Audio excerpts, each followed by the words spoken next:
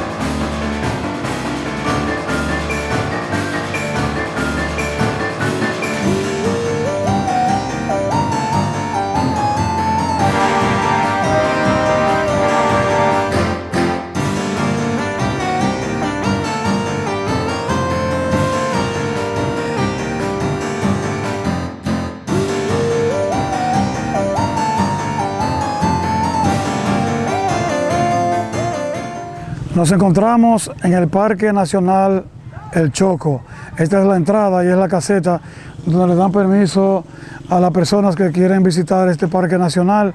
Aquí están los vigilantes que cuidan el parque y por una módica cantidad te dejan entrar para que andes por diferentes cuevas. Cada cueva de las que hay aquí tiene un nombre.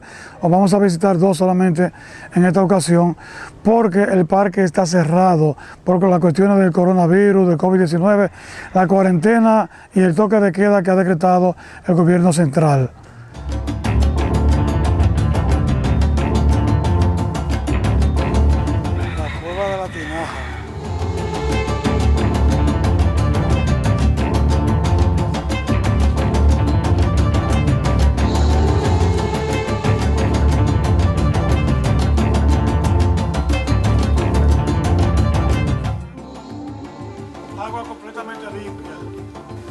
Estamos en la cueva de la Tinaja, un agua completamente limpia y fresca. No sé si sirva para, para tomar, pero se siente bien el agua aquí.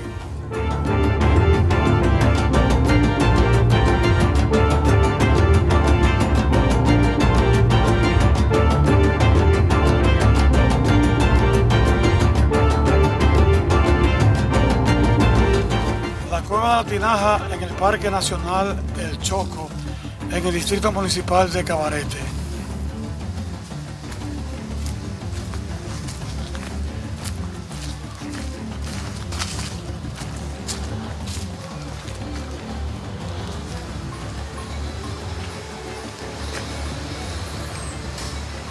Mira, esto, ¿cómo se llama? El higuero, presencia crucete nativa. Este árbol, este fruto llamado el higuero, se utiliza mucho en los campos de la República Dominicana. En esto se, se ponía a secar y luego que estaba seco se cortaba en dos mitades y servía para, eh, como, como si fuera un plato para comer. Y también, si se le hace un hoyo solamente de un lado, sirve como vacía para tomar agua.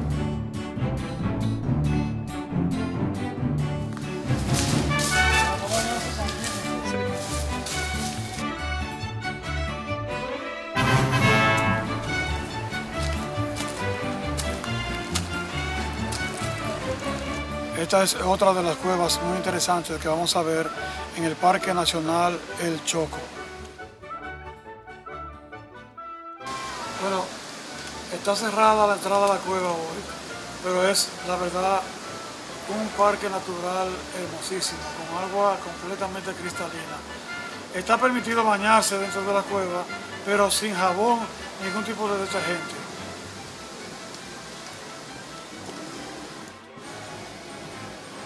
Estas son unas espinas que tienen estas hojas de esta llamada pringamosa, que antes le llamaban era Otragia bolomilis nativa.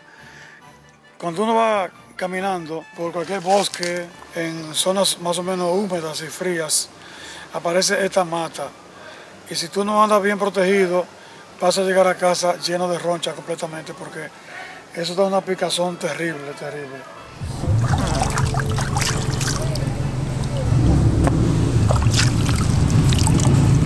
Tan fresca, tan suave que se siente el agua de aquí, de la entrada al Parque Nacional El Choco.